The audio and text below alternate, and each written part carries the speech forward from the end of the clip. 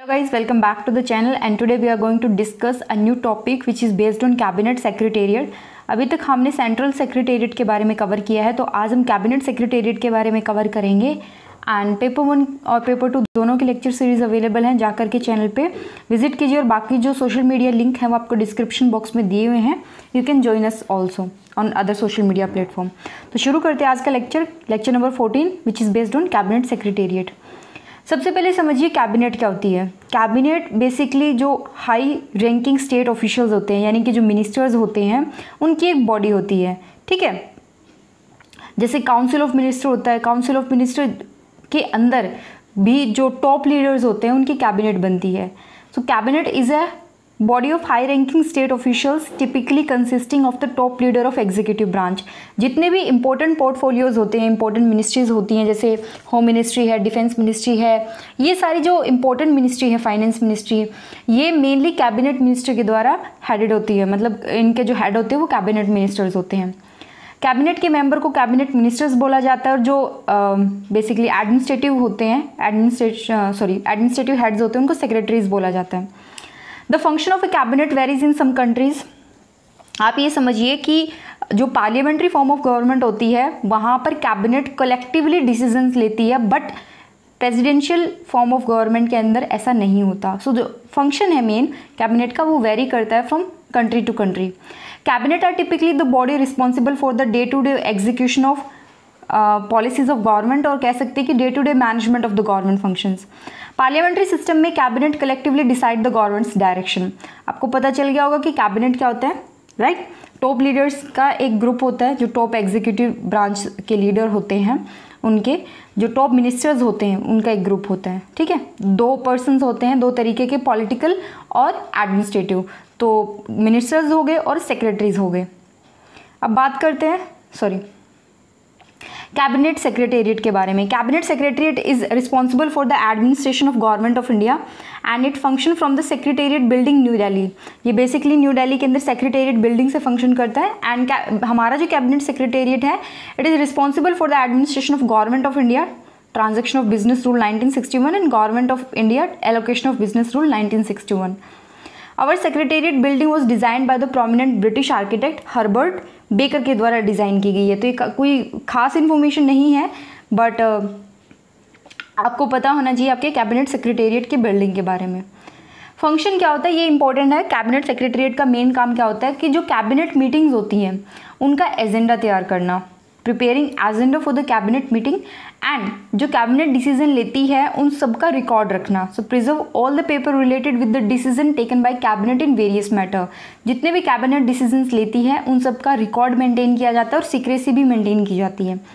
Collect information on the actual implementation of cabinet decision cabinet ने जो फैसले लिए, उनका कितना एक्चुअल में इंप्लीमेंटेशन हुआ, या कहाँ तक बात पहुँची, या मिनिस्ट्रीज और डिपार्टमेंट कितना काम कर रहे हैं, या ग्राउंड रियलिटी क्या है, उसके बारे में इन्फॉर्मेशन कलेक्ट करना भी क्या है कैबिनेट सेक्रेटेरिएट का काम है।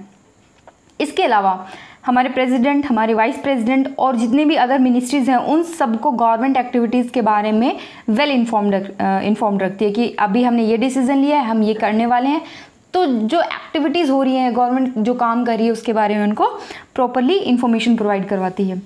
Provide secretariat assistance to the other various cabinet committee आपको पता हो कैबिनेट कमेटीज़ के बारे में राइट right? पॉलिटी के अंदर आपने पढ़ा होगा।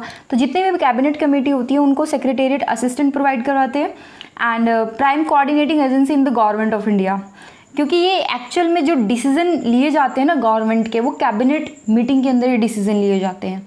काफ़ी इम्पोर्टेंट होता है ये। जो कंप्लीट काम होता है ना गवर्नमेंट का, वो यहीं पे डिसाइड होता है। इसके अलावा एक नया फ़ंक्शन भी ऐड हुआ है, वो क्या है?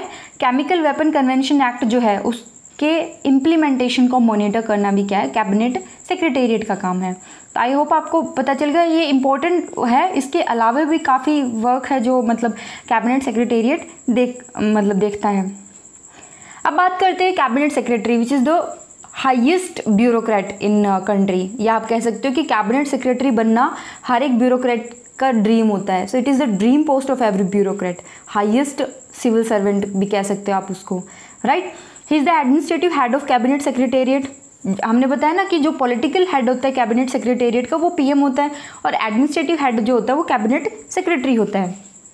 ये ध्यान रखिए कि मतलब जो कैबिनेट सेक्रेटरी होता है he is the ex officio head of civil service board cabinet secretariat and I right and head of all civil service under the rules of business of government ये कई बार सिविल सर्विस बोर्ड के बारे में पूछ लिया जाता है who is the ex officio head of the civil service board right and he is generally senior most officer of the I जो इंडियन एडमिनिस्ट्रेटिव सर्विस है ना, उसका सीनियर मोस्ट ऑफिसर होता है generally cabinet secretary cabinet secretary अगर आप order of precedence देखोगे तो इलेवेंथ रैंक पे आता है।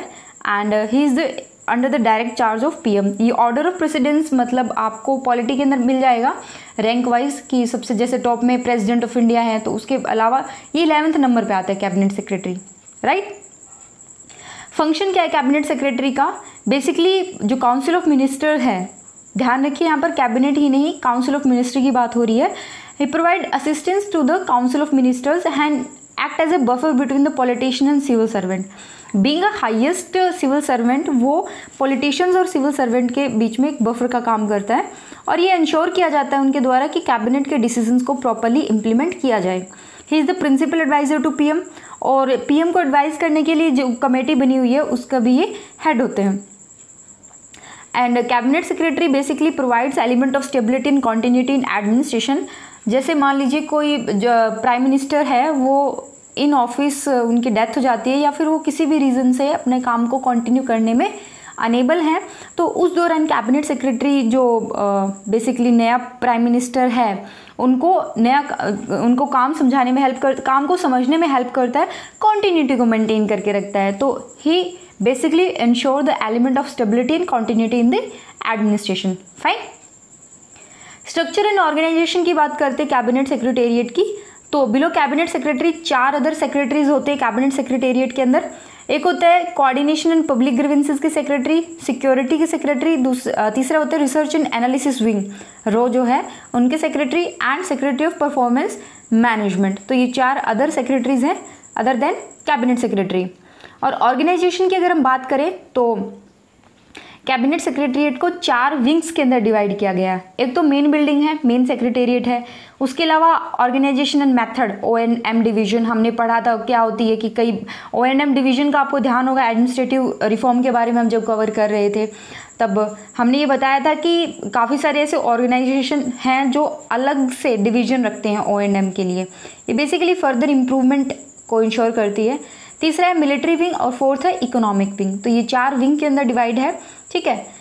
तो स्ट्रक्चर एंड ऑर्गेनाइजेशन की बात हो गई कैबिनेट सेक्रेटेरिएट की बात हो गई, इसके अलावा कैबिनेट सेक्रेटरी के बारे में हमने कवर कर लिया। कैबिनेट सेक्रेटरी पोस्ट जो है वो काफ़ी इंपॉर्टेंट है। मेंस में और आई थिंक कई बार इसमें पूछा गया है सिविल सर्विस बोर्ड के बारे में और कैबिनेट सेक्रेटरी के बारे में प्री के अंदर भी पूछा गया है। तो थोड़ा सा ध्यान से पढ़िएगा। Thank you so much. Next topic will be Prime Minister's Office and don't forget to subscribe the channel, like the video, comment and share.